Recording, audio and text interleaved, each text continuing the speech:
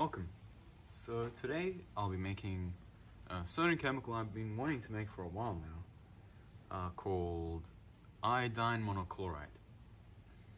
Now it's an extremely dangerous chemical, and during the chemical reaction that I'll be doing today to synthesize this chemical, uh, we'll be dealing with a lot of dangerous chemicals and gases such as chlorine gas. So don't try this. Okay, so I'm gonna first start with the ingredients.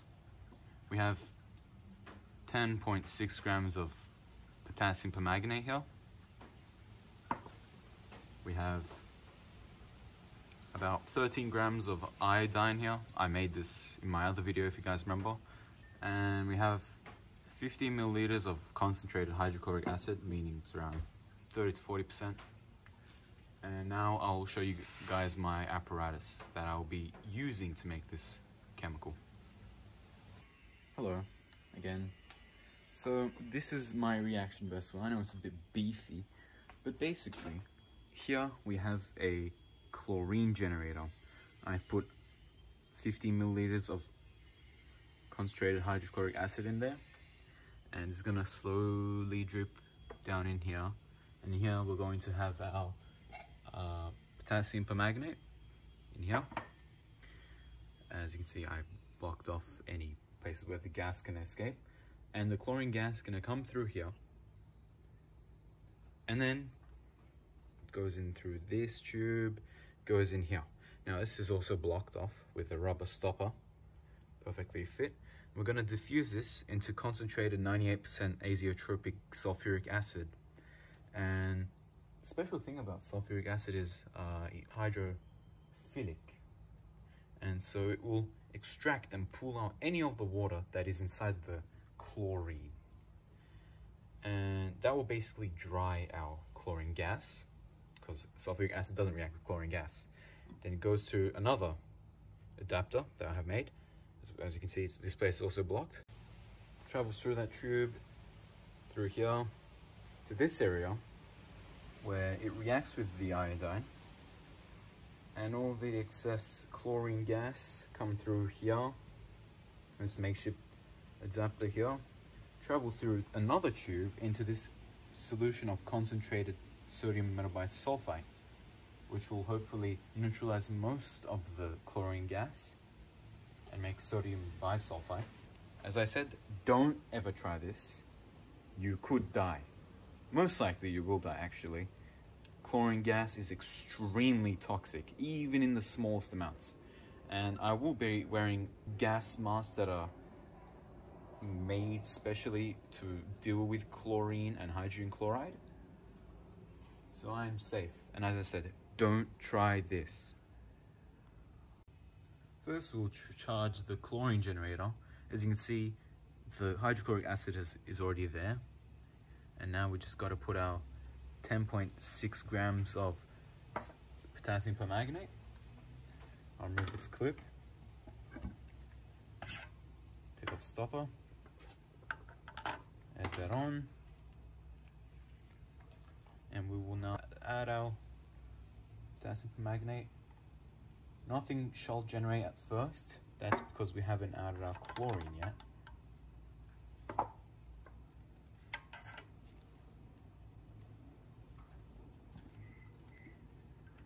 that on. There we go, our chlorine generator is ready. Next, we will fill our desiccator with some concentrated azeotropic 98% sulfuric acid. I just wanted to make a disclaimer. Here I used a rubber tube, but don't ever use a rubber tube because it reacts with the sulfuric acid.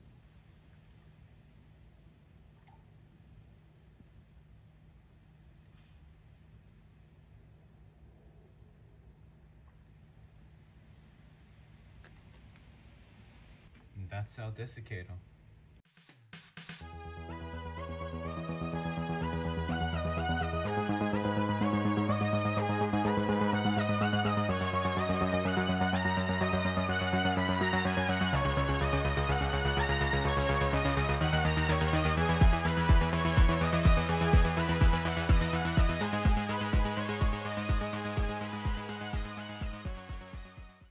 Okay, so I'm back and as you can see our iodine monochloride.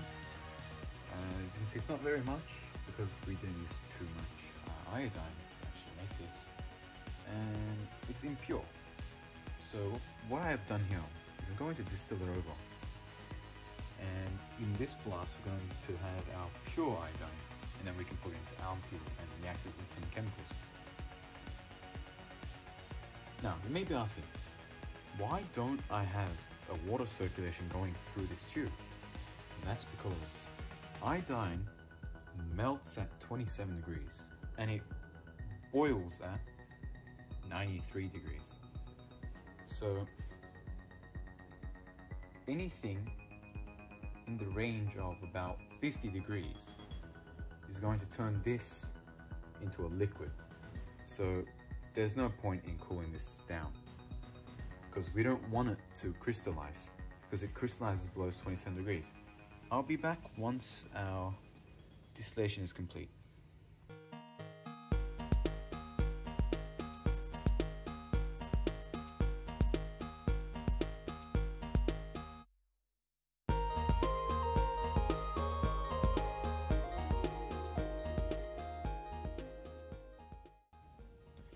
Distillation is relatively done, see. We still have some small amount of droplets around here and even in the condenser tube, but it should be fine.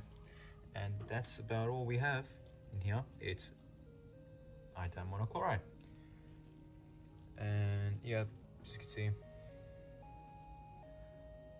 there we go. And now I'm going to make an ampule to put that inside. And here's our glass tube for the ampule. I'll be back once I make the ampule. Iodine monochloride. And in my next video, I might react this with titanium metal and other types of metals, metal powders. Or maybe I'll make some bromine. Maybe I'll make some bromine. I've always wanted to make bromine. And it's also very similar to iodine monochloride as well. Anyways, thanks for watching, I guess. And I'll see you in my next video.